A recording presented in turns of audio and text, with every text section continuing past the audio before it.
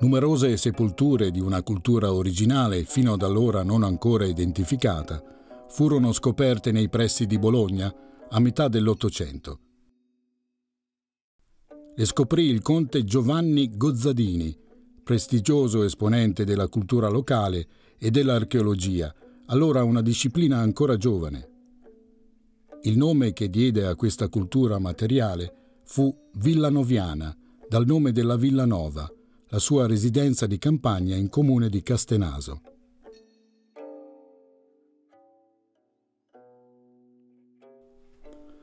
La cultura villanoviana, sviluppatasi tra il IX ed il VII secolo a.C., dal Tirreno all'Adriatico, dalla pianura padana alla Campania, è oggi ritenuta dalla maggior parte degli studiosi la più remota espressione della civiltà etrusca.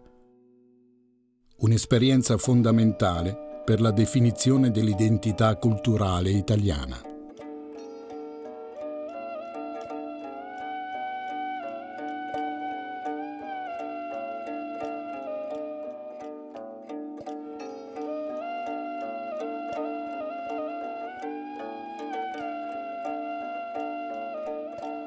Il patrimonio archeologico villanoviano è conservato in molti dei musei presenti sul territorio emiliano-romagnolo, poiché testimonianze di questa cultura sono presenti in gran parte della regione. Nella pianura padana gli insediamenti più importanti si ritrovano nell'area bolognese e sull'Adriatico a Verucchio.